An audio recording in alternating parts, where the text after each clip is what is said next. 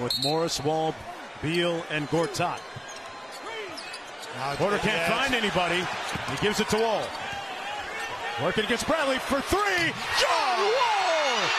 Hold on. What a shot! Now you talk about a pressure shot. That was it. Because they had nothing. They were trying to bring Bradley Beal from the left side of the floor.